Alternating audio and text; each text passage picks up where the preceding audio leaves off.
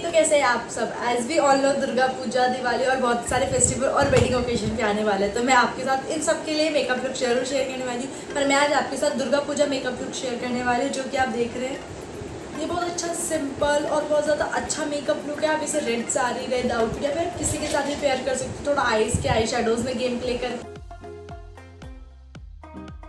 मैं मेरा C T M कर चुकी हूँ। सी टी एम के बाद मैं अपने लिप्स को मॉइस्चराइज़ करूँ या वादी के लिप बाम से। उसके बाद मैं फेस मेकअप से सबसे पहले मैं प्राइमर लगा रही हूँ जैसा कि आप सब जानते होंगे। मैं मालियो का प्राइमर लगा रही हूँ। ये बहुत अच्छा सिलिकन बेस प्राइमर है।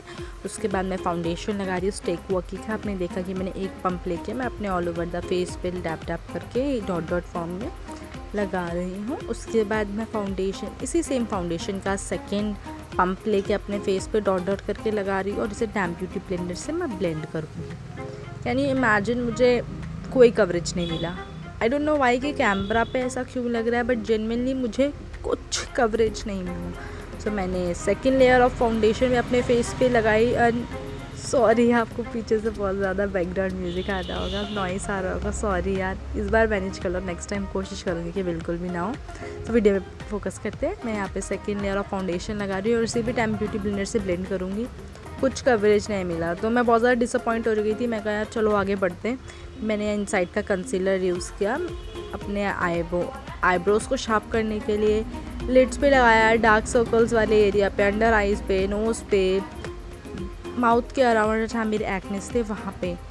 इसने मुझे डिसेंट कवरेज दी, जिसकी वजह से मेरा मेकअप मुझे ठीक लगा, वरना मुझे दोबारा ये मेकअप शूट करना पड़ता और मैं बहुत ज़्यादा परेशान हो जाना कंसीलर को मैं बहुत अच्छे से ब्लेंड करूँगी और जहाँ जहाँ मैंने कंसीलर लगाया है, वहाँ पे आज मैं बेकिंग करने वाली हूँ। तो बेकिंग के लिए मैं लूज़ पाउडर ले रही हूँ जो कि आपको डिस्क्रिप्शन में मिल जाएगा तो डिस्क्रिप्शन ज़रूर चेक कीजिएगा और मैं उसे अंडर आइज़ पे नोज़ के अराउंड जहाँ जहाँ मैंने लगाया था अपने यूजुअल एरिया में, मैं वहाँ लगा के उसे बेक करने के लिए छोड़ दूँगी। जब तक मैं अपनी आईब्रोज़ फिल कर लूँगी।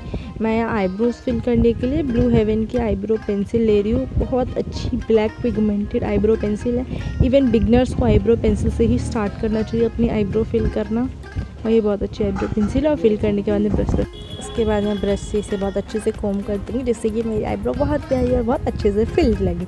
जहाँ हमारे गैप्स होते हैं, हमें वहीं अपनी आईब्रो पेंसिल या आईब्रो पाउडर से फिल करना चाहिए, वरना फिर हमारी आईब्रो फेक और ओवर बोल्ड और ओवर फिल्ड लगती है जो कि फेस पे अच्छा नहीं लगता है। बेशक आप कितना भी हैवी मेकअप कर लो या फिर कुछ भी कर लो, पर वो बहुत अजीब लगता है ऑकवर्ड सा फील होता है, ऐसा मुझे लगता है। बाकी आपको जो मेकअप में अच्छा लगे, आप वैसा कर सकते हैं। उसके बाद मैं सेटिंग पाउडर लगाऊँगी एन वाई बी का कॉम्पैक्ट पाउडर से अपने नेक पे जहाँ जब मैंने नहीं लगाया था, अपना लूज़ पाउडर वहाँ लगाऊँगी। आई शेडो में मैं सबसे पहले अपना ब्राउन्जी शेड लेके अपने क्रीज पे एज अ ट्रांजिशन शेड लगा के उसे ब्लेंड करूँगी बहुत ज़्यादा अच्छे से। उसके बाद में रेड कलर जो थोड़ा सा शिमरी है उससे लगा के अपने आई पे आउटर वी पे लगा के बहुत अच्छे से ब्लेंड हमें ब्लेंड बहुत ज़्यादा अच्छे से करना है। तो आपने देखा था कि आगे मैंने कोई कलर नहीं लगाया तो वो एक एज अ कट क्रिस का वर्क करेगी तो उसके बाद मैंने आगे अपना हाईलाइटर शेड लगा के अपने दोनों कलर को बहुत अच्छे से मर्ज कर लिया, जिससे वो ब्लेंडेड लगे। उसके बाद अपना ब्लू हेवन का आईलाइनर लगा के, बिल्कुल पतला सा विंग आईलाइनर लगा के उसे मस्कारा से अच्छे से कोट करूँगी, और ये बहुत अच्छा मस्कारा है। अंडर थ्री हंड्रेड और थ्री और फिफ्टी और इवन ये भी फ्लिपकार्ट और अमेज़ोन पे आपको टू हंड्रेड और टू एटी का मिल जाएगा तो ज़रूर इसे ले लो अगर आपके पास नहीं है तो क्योंकि ये बहुत ही ज़्यादा बढ़िया वाला मस्कारा है। क्योंकि मैं यहाँ फॉल्स लैशेज़ नहीं यूज़ करी, अगर आपको लगाना है तो आप लगा सकते हो as up to your choice क्योंकि मेकअप में कभी भी कोई फास्ट और hard rule fast sorry hard and fast rule नहीं होते अपने अकॉर्डिंग मैं लोअर लैश लाइन पे सेम जो रेड कलर मैंने अपने आउटर वी पे लगाया था, उसे लगा के बहुत अच्छे से ब्लेंड करूँगी। और उसके बाद अब अपने फेस की तरफ़ बढ़ते हैं। उससे पहले हम अपनी आँखों में अपना फेवरेट काजल लगाएँगे। ये बहुत अच्छा और ब्लैक पिगमेंटेड काजल है। उसके अंदर अपने फेस को थोड़ा सा शेप देने की कोशिश करूँगी, जो अपने चीक्स पे डबल चिन में नोज़ पे फोर हेड पे करूँगी। नोज़ को आप ज़रूर कॉन्टोर कीजिएगा और अपने फेस को आपको सच में डिफरेंस दिखेगा। और थोड़ा सा अपलिफ्टेड वे में कीजिएगा, जिससे आपका फेस बहुत अच्छा लगेगा। और उसके बाद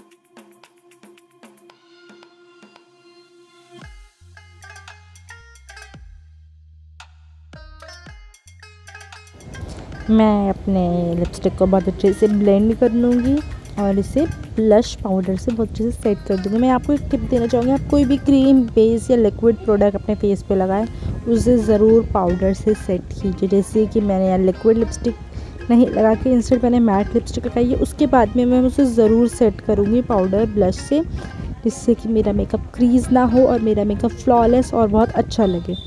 उसके बाद मैं अपने फेस पे हाइलाइटर लगाऊँगी, अपने इनर कॉर्नर को ब्राउ बोन को हाईलाइट करने के बाद मैं फ़ैन ब्रश से अपने फेस को बहुत अच्छे से हाईलाइट करूँगी। मेरे को ब्लश हाइलाइटर कॉन्टोर बहुत ही ज़्यादा पसंद है, इसलिए मैं अपने फेस पे कभी भी करना नहीं भूलती और हमेशा ट्राई करती हूँ कि मैं कर स्पेशली मेरा, मेरी नोज़ को पक्का कॉन्टोर करती हूँ, क्योंकि मेरी नोज़ मेरे बहुत ज़्यादा फैटी फैटी चबी चबी सी लगती है। उसके बाद मैं रेड कलर के लिक्विड लिपस्टिक लेके अपने लिप्स पे लगा के अपना मेकअप लुक कंप्लीट करूँगी। और मेरा मेकअप कहीं भी ना जाए, बहुत अच्छे से मेरा मेकअप टिका रहा। है डुई मैट बहुत बढ़िया मेकअप है इसके। अंदर इन साइड का मेकअप सेटिंग स्प्रे ले रही हूँ और इसे अपने फेस पे स्प्रे करने के बाद डैम ब्यूटी ब्लेंडर से बहुत अच्छे से ब्लेंड करूँ। कमेंट में बताना ही, जब भी मैं गाना गा रही क्या आप गेस कर पा रहे हैं कि ये कौन सा गाना है? कमेंट करके ज़रूर बताना। और ये है मेरा फाइनल लुक